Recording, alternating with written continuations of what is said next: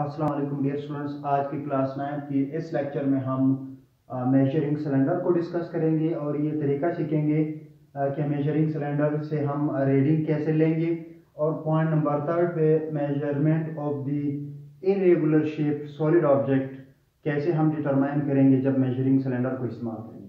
तो आज के इस टॉपिक में हमारा मेन टॉपिक जो है कि मेजरिंग सिलेंडर है क्या मेजरिंग सिलेंडर को हम कैसे रीड करेंगे? जब हम इनमें कोई लिक्विड जो है डालेंगे तो इनकी रीडिंग या वॉल्यूम की रीडिंग हम कैसे मालूम करेंगे या कैसे फाइंड आउट करेंगे?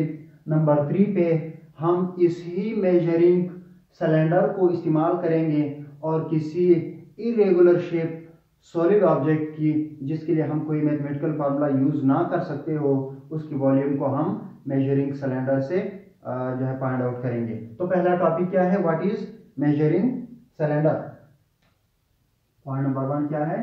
Measuring cylinder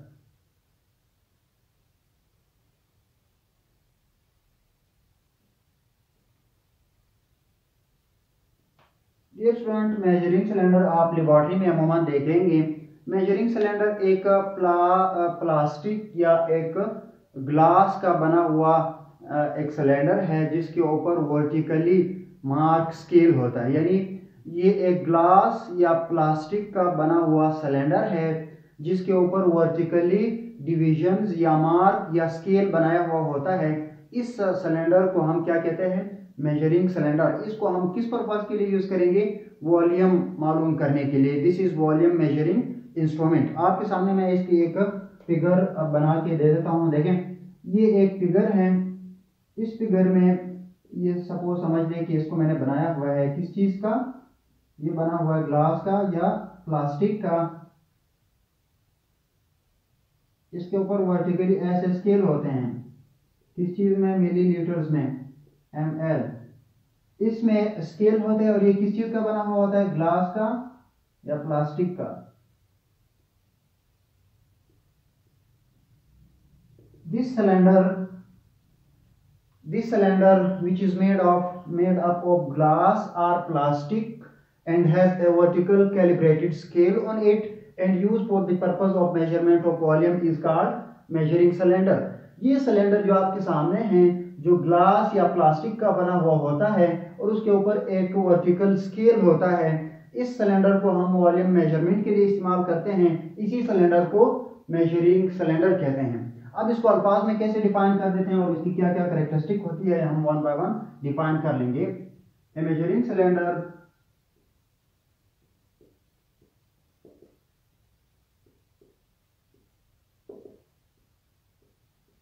a measuring cylinder is made up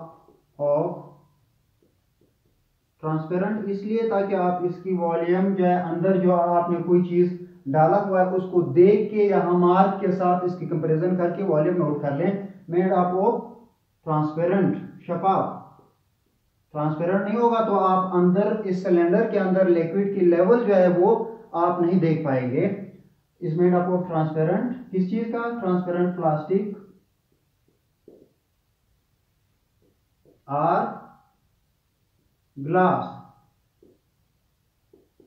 which has a calibrated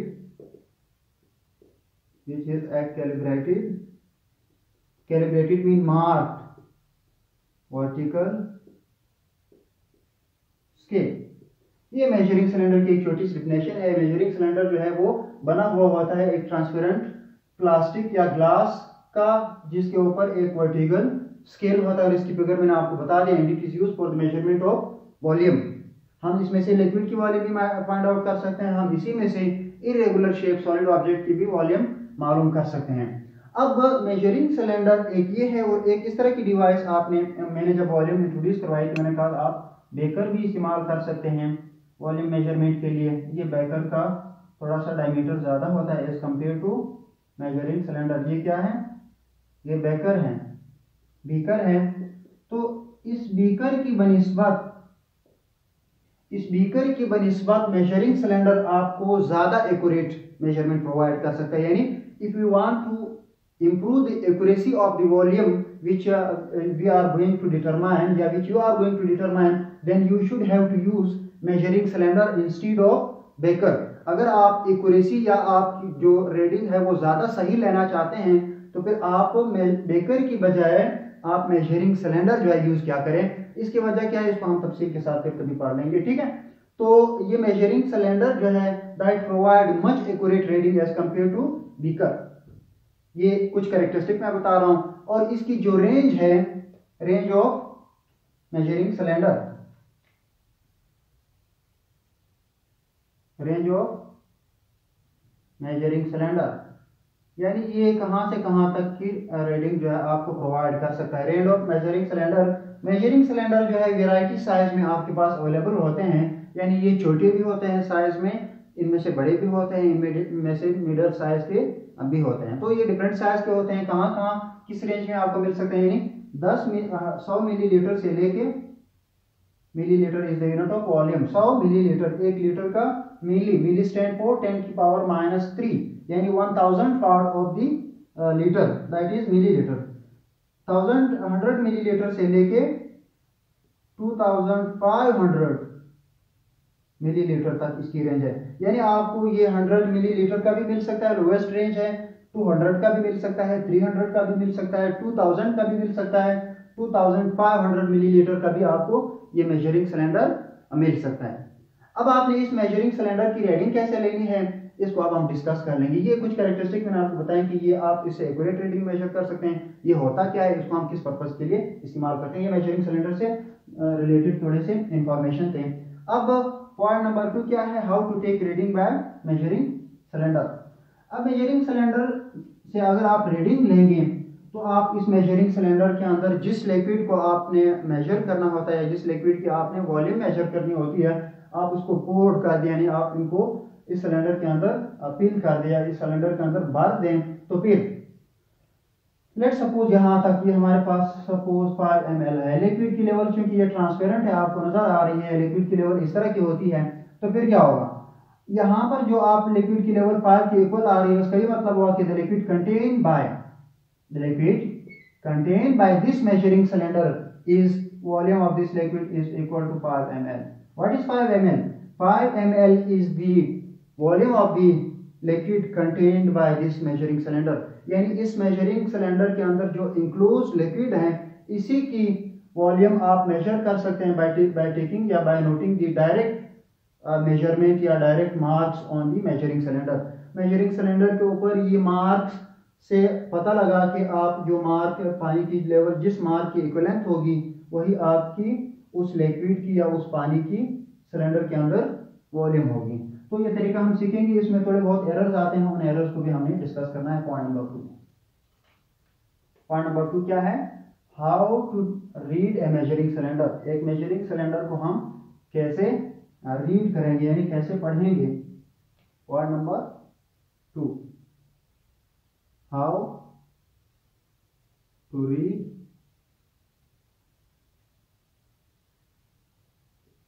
a measuring cylinder एक मेजरिंग सिलेंडर को आप कैसे पढ़ेंगे? लेट सपोज़ ये कोई मेजरिंग सिलेंडर है, जिसके अंदर आपने पानी फिल कर दिए हैं। इसके ऊपर मेजरिंग सिलेंडर हमने कहा था प्लास्टिक या ग्लास का बना हुआ होता है। इसके अंदर आपने पानी पोर कर दिया, यानी पानी भर दिए इसके ऊपर वर्टिकल स्केल होता है। Let suppose that is one M L two M L मैं एम एल बार बार नहीं लिख रहा three four five six. Six M की मैंने आपको एक सैंपल के तौर पर ये ड्रा करवाया है। अब आप इसकी मेज़रमेंट कैसे लेंगे? लेट सपोज़ आपने पानी क्या कर दिए वाटर पोर्ड कर दिए यानी आपने इसके अंदर पानी भर दिए अब जब आप पानी भरेंगे तो आपको आ, कुछ पानी की लेवल इस सिलेंडर के अंदर ऐसे नज़र आएगी।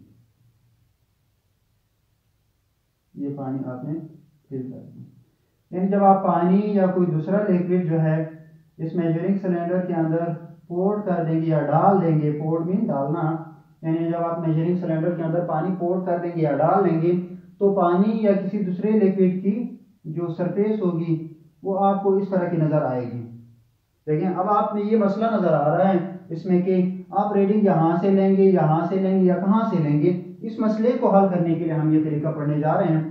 So when water is or other liquid is poured into the measuring cylinder then the surface of the water or other liquid look likes to be convex or concave this concave or convex surfaces of the liquid inside measuring cylinder beaker uh, pipette या beverage is called meniscus इसको क्या कहा जाता है ये जो जब आप पानी डालेंगे तो आपको नज़र आ जाएगा कि इस मेजरिंग सिलेंडर के अंदर पानी की ये सतह जो है ये कौन सी सतह है ये कनकेव सतह है।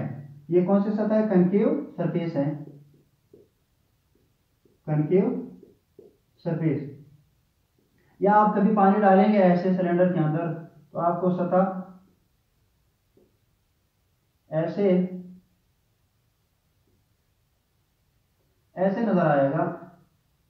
तो ये कौन सा सरफेस होगा? कन्वेक्स। Convex surface. जब आप लिक्विड डालेंगे, वो लिक्विड पानी है, ये पानी की सूरत में आपको ऐसे नज़र आएगा। अगर ये लिक्विड जो है वो मरकरी है तो आपको ये सरफेस कन्वेक्स नज़र आएगा। अगर मरकरी के अलावा कोई भी लिक्विड आप डालेंगे तो उनके surfaces measuring cylinder beaker pipette या कोई भी चीज़ हो, उनके अंदर मेजर जो मेजरिंग लिक्विड है, उनकी सरफेसिस आपको कनकेव नज़र आएगी। यानी other than mercury all the surfaces of the liquid inside measuring cylinder will be concave ये सिर्फ़ मरकरी का आपको ये सरफेस कैसा नज़र आएगा? That is convex surface and this is concave surface ये कौन सा सरफेस है? ये कनकेव है और ये कन्वेक्स सरफेस है। This concave and convex surfaces of the liquid inside a measuring cylinder beaker pipette or burette is called meniscus इसको मिनिस्कस कहते हैं। अब इसको पढ़ना हमने कैसे है? यही हमारा टॉपिक है। इसको थोड़ा सा, एक छोटा सा डिफिनेशन लिख देते हैं। आप ये याद रखें कि मरकरी के अलावा बाकी सारे लिक्विड्स के जो सरफेसिस होते हैं सिलेंडर के अंदर वो कंकेव होते हैं, ये सरफेसिस ऐसे क्यों बनते हैं? डिफरेंट मटेरियल के डिफरेंट क्यों बनते हैं? That depend upon the nature of the liquid which are enclosed inside the measuring instrument volume measuring instrument अब यहाँ पर छोटा सा डिफिनेशन एक मिनिस्कस की लिख लेते हैं।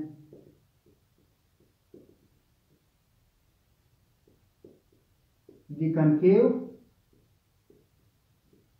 are convex surface of liquid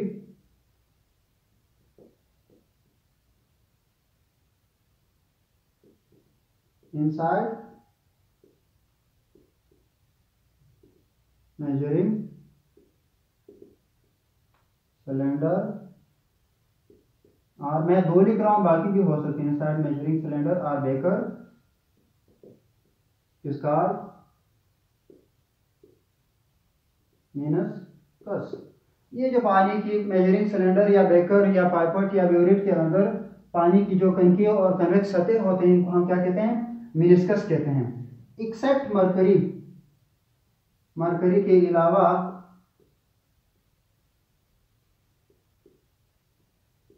all other liquids have concave meniscus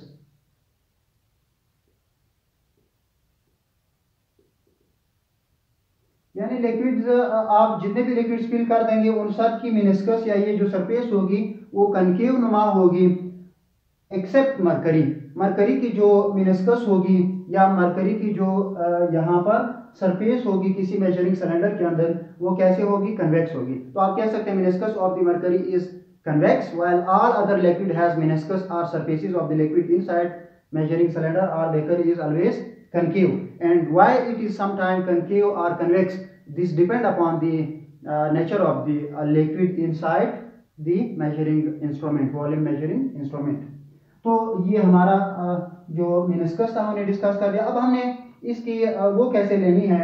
reading जो हमारा मेन टॉपिक है। अब रीडिंग में मसला इसी मिनिस्कस की वजह से आ रहा था, इसीलिए हमने पहले इस मिनिस्कस को डिस्कस कर दिया था। अब मिनिस्कस की वजह से कैसे मसला आ रहा है? जरा देखिए इसको मैं अलग फिगर के ऊपर जो यहाँ पर ड्रा कर देता हूँ। अब ये पानी की लेवल ऐसे नज़र आ रही है। सिंगल में आप देखें let suppose it is 5 ml ये पानी है। अब आप रीडिंग यहाँ लेंगे यहाँ लेंगे, थोड़ा सा नीचे यहाँ लेंगे। इस वजह से मैंने डिस्कस इसको डिस्कस कर दिया था, पहले बुक में भी डिस्कस किया हुआ है। अब यहाँ पर एक्यूरेट लेने के लिए आपकी eye level should be at the same level मसलन लेट सपोज़, यहाँ पर ये मिनिस्कस की क्या है? मिड पॉइंट है। मेरी आँख की जो लेवल है that should be at the same level as mid of the or middle point of the meniscus ये मेरी आँख इस सीध में होनी चाहिए।